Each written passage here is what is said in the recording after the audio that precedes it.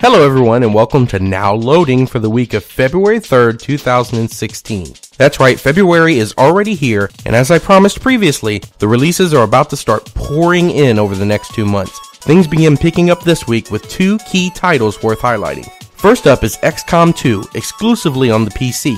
This is a direct sequel to the game many considered to be the 2012 Game of the Year.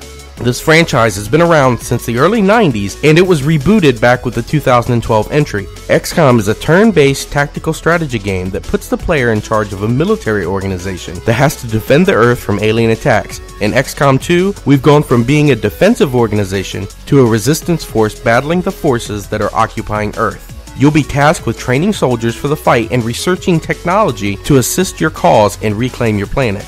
Your missions have a variety of primary and secondary objectives that will require you to study and learn each situation in order to make it out alive. Effective planning is definitely key as your soldiers' lives depend on it. Your characters are fully customizable and are lost once they are killed in battle. If you rank someone up over the course of a couple of missions and they eventually fall in battle, they are lost forever, so their lives are truly in your hand.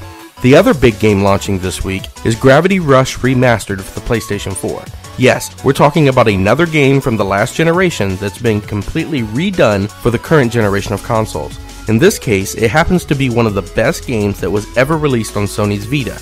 Gravity Rush is an action adventure game that tells the story of a young girl named Kat.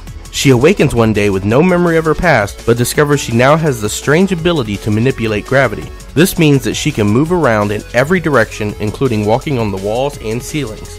Kat will have to use her powers to help the people of her city and fight off strange monsters that start appearing. If you want more information on either of these games and a whole lot more, make sure you check out GamingNexus.com.